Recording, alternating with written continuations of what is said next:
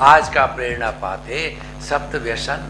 सात व्यसन, सात सात लतें, सात बुरी आदतें जो व्यक्ति का विनाश करने वाली है, व्यक्ति को कंकाल बनाने वाली है, व्यक्ति और उसके परिवार को जो है कगार पे खड़ा करने वाली है। सप्त व्यसन में पहले चोरी, यानी अगर व्यक्ति धीरे धीरे चोरी करते करते बड़ा डाकू बन जाए तो उसकी लत पड़ जाती है तो चोर व्यक्ति जो है, कभी न कभी पकड़ा जाता है, जेल जाता है और उसकी बदनामी होती, वो किसी का प्रिय नहीं होता है। और दूसरा जारी जारी का अर्थ होता है, पर स्त्री गमन, जो व्यक्ति स्वदार संतोष करता है, हमारे समाज ने, शादी की व्यवस्था ने एक स्त्री, एक पुरुष को मान्य किया है। लेकिन पर स्त्री, पर पुरुष गमन करता है तो ये बहुत बड़ा दुराचार है और ये बहुत बड़ा सात वैष्णव में आता है। वो व्यक्ति बदनाम हो जाता है और वह व्यक्ति का विनाश हो जाता है। तीसरा, मद्यपान।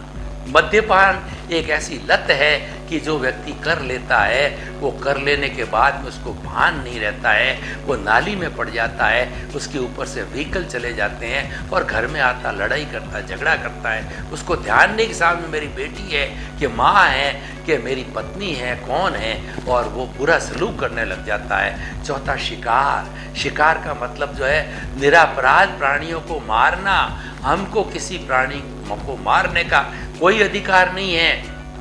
क्योंकि उस प्राणी को जन्म हमने नहीं दिया है, उस प्राणी को जन्म देने वाली प्रकृति है, कुदरत है। हमको किसी को मारने का कोई अधिकार नहीं, वो हिंसा है।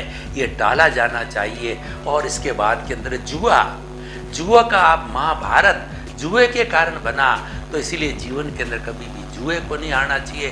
95 परसेंट जुए में लोग हारते हैं, शेयर्स वगैरह जो भी है, पाँच परसेंट सफल होते हैं। इस तरीके से सप्त जीवन के अंदर कभी भी धारण नहीं करने चाहिए, वरना जीवन का विनाश है।